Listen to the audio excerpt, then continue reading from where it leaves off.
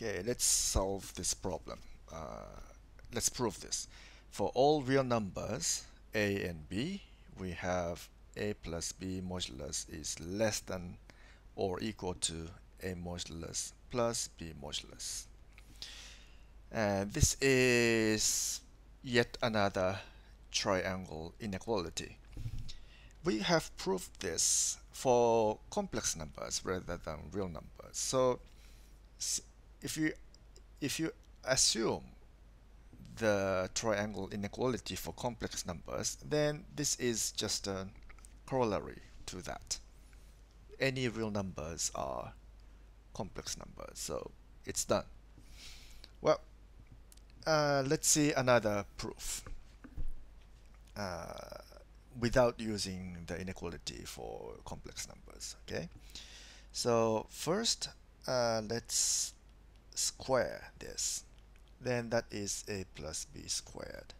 You know a and b are real numbers so we have this. And this is a squared plus 2ab plus b squared but that is less than or equal to a squared plus 2ab modulus b squared. But this is equal to a modulus squared plus 2 a modulus times b modulus. Now this is just a property of absolute values. So we have this, but this is a modulus plus b modulus squared. So if we take uh, the square root of both sides, we have uh, this. Okay. So that's done.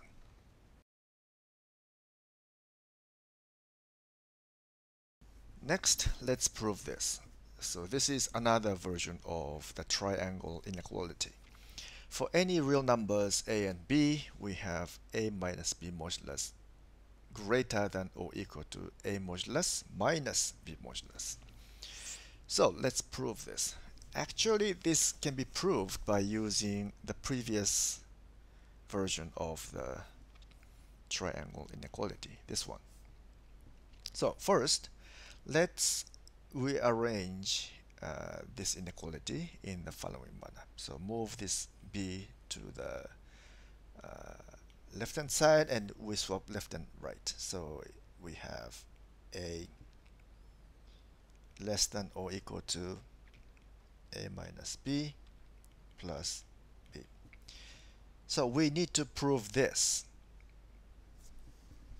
Okay, but this looks almost like the triangle inequality we have just proved.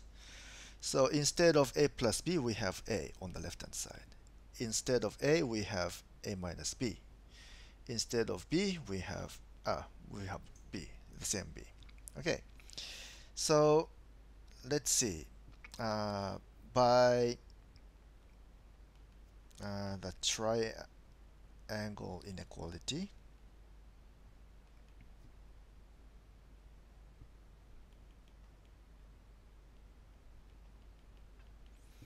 We have let's see C uh, let's see uh,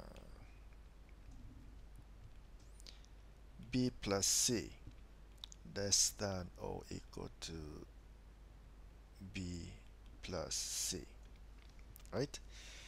So let's let a b b plus c okay? Then uh, c is equal to a minus b. Therefore we have uh, let's see a less than or equal to a minus b plus b. And done. Right just replace the c with this and replace b plus c with a. And that's it.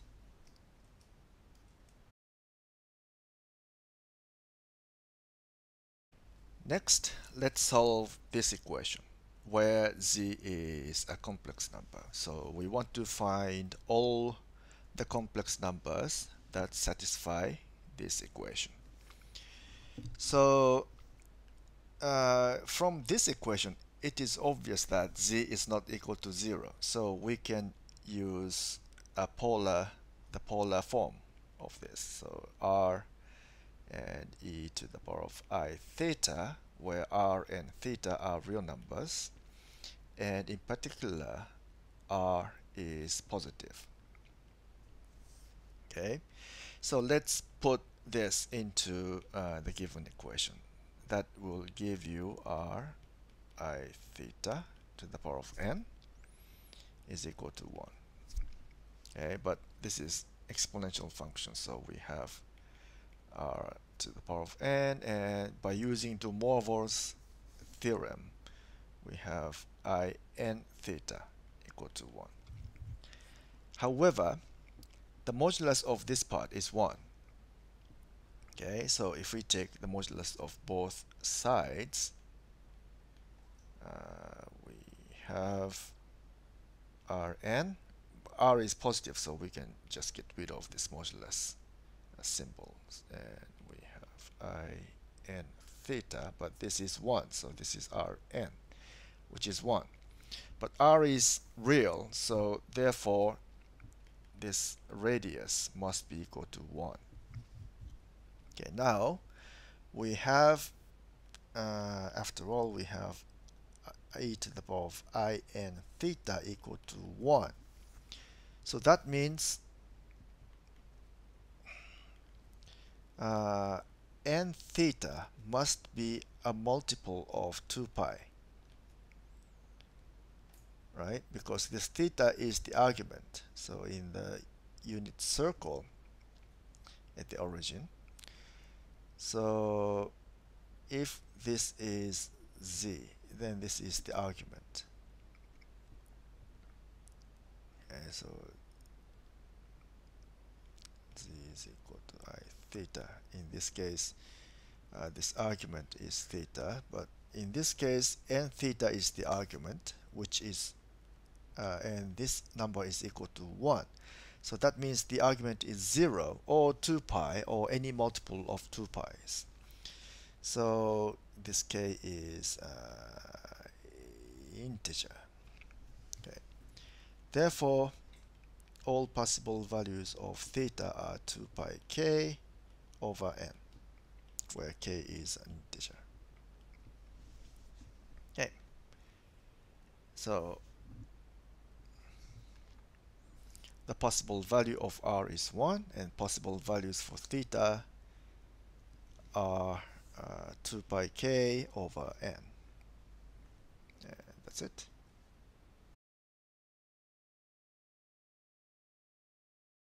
Next, let's prove this famous formula for trigonometric functions, sine. And actually at the same time we want to prove uh, the following. Cosine alpha plus minus beta is equal to cosine alpha cosine beta minus plus sine alpha sine beta. Here this plus corresponds to this plus and this minus corresponds to this minus okay? And here this plus corresponds to this minus and this minus corresponds to this plus okay? Let's uh, first let's prove for plus okay? So let's see. So we just ignore this part. Okay so we prove this formula at once uh, using the polar form okay so first consider this exponential of i alpha plus beta. So by the definition of cosine and sine in our uh, lecture, this should be equal to cosine alpha plus beta and i sine alpha plus beta. Okay. On the other hand, this is equal to you know this is exponential function so it's i alpha plus i beta but uh, this part is cosine alpha plus i sine alpha and this part is cosine beta plus i sine beta so just expand this uh, product then we have cosine alpha times cosine beta. And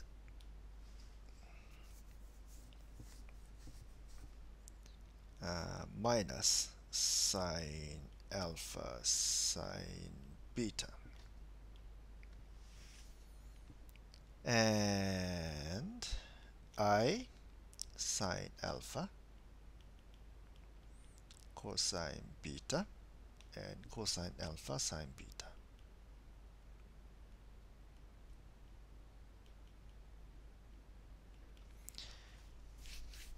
So let's now by comparing the real part and the imaginary part we have this formula right so cosine alpha plus beta is equal to cosine alpha cosine beta minus sine alpha sine beta and sine alpha plus beta is equal to sine alpha cosine beta plus cosine alpha times sine beta. And that's it. And what about the negative sign? Well, uh, there are multiple ways to prove that. So we just replace this plus sign with the minus sign. Okay. So here we have minus.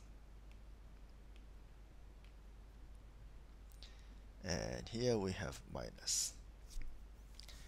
But if we have minus sign, then this is minus. So, and if you calculate this again, this will be plus and this will be minus. okay? That's one way. And another way is uh, let's see. So another way is to consider this as exponential of i and minus beta. Okay in this case we have this is plus and this is minus beta. Minus beta here. Okay so however uh, cosine is an even function. So cosine minus beta is equal to cosine beta. And sine is an odd function.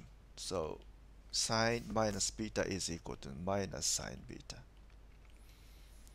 So that so after all we have uh, cosine alpha plus i sine alpha and cosine beta minus i sine beta as before. So we should get the same result again.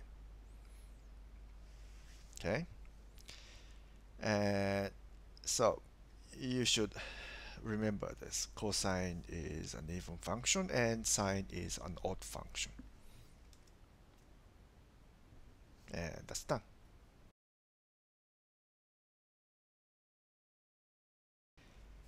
Now let's try to prove this famous uh, theorem or uh, formula, identity or whatever.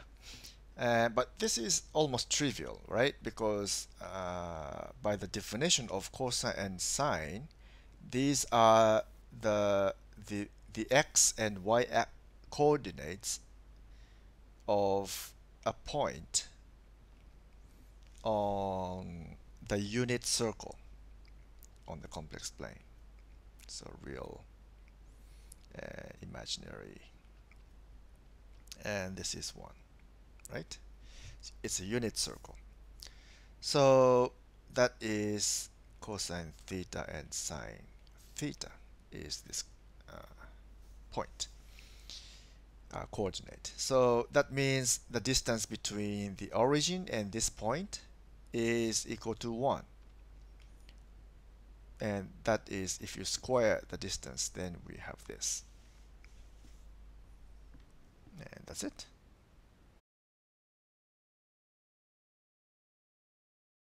And finally, let's prove this formula. In this case, plus minus, these are in this order. Plus corresponds to this plus and this minus. And this minus corresponds to this minus and this plus. Okay. Anyway, uh, all you need to do is just you know apply the definitions. Okay, so what's tangent alpha plus beta?